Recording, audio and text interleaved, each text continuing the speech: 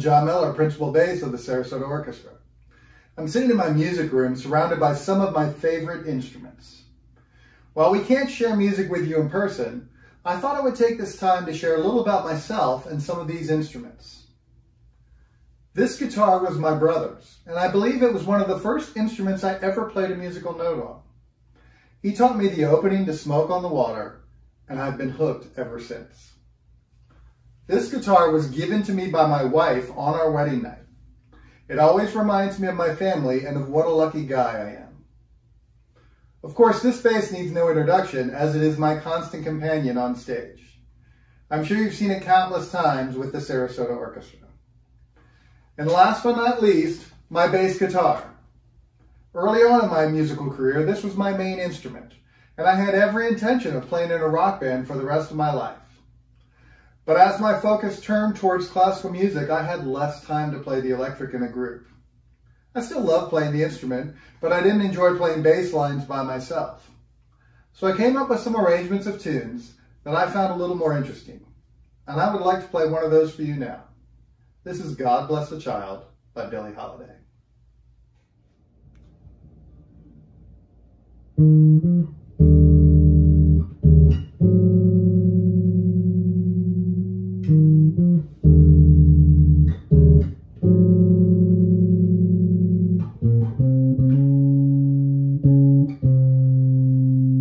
Mm-hmm.